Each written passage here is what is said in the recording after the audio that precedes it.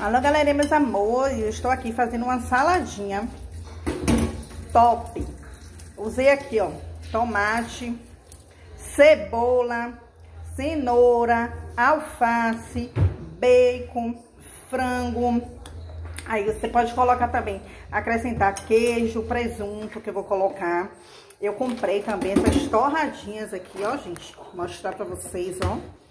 Uma delícia.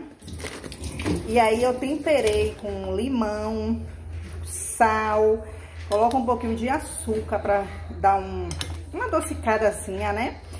É, a pimentinha do reino, um pouquinho. E aí eu coloco aqui, ó, o creme de leite. Coloco o creme de leite. Aí coloco aqui, ó, queijo, presunto. Isso aqui é um almoço, uma janta. Fritei o bacon aqui, ó bacon, frango.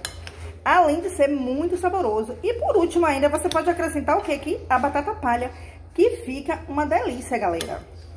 Então, façam aí, experimentem.